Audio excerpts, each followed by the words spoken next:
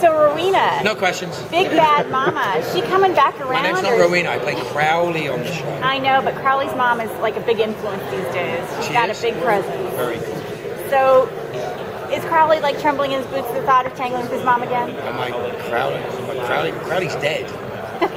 But Crowley is never dead. He Oh, always comes dead. back. Oh, Crowley's dead.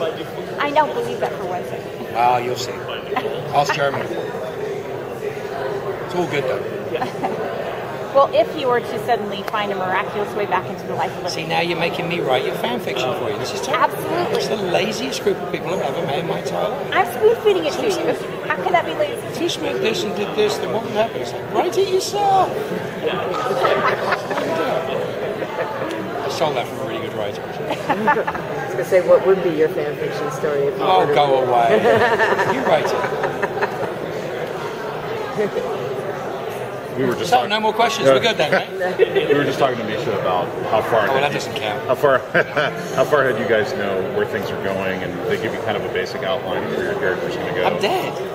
If I wasn't, again, you want me to write fan fiction? I have a feeling if you were truly dead, you wouldn't be here right now. Well, I'd be here anyway. You know that. I've been coming here 17 years. I've been on the show 17 years. I'd be here anyway. They just took pity on me and wanted me to show. We'll see. Do you have any ideas about what the darkness is? Even though dead? the darkness is? Yeah. Bibli- Pre-biblical force? Yeah. The darkness? Sort of before the in the beginning was... Yeah. In the beginning, What- what before the in the beginning was the darkness. What? Contain. Was it contain? Yeah, what does it contain? What does the darkness contain? Yes. Darkness. So can see. So you're extrapolating that answer from that response? Do the writers your work like for you. slam the door when you come walking by and say, "Hell no, we're not sharing nothing with you"? So obvious. so, Is there anything any you real want- questions? Well, do you want to share anything with us? Is there anything that you're Oh, dying now I to got, say? now I got to write, write the questions for you as well. This is, this is the, the, the worst group of journalists. I've ever met in my life. Hmm, Let's see. Anything you want to say to us?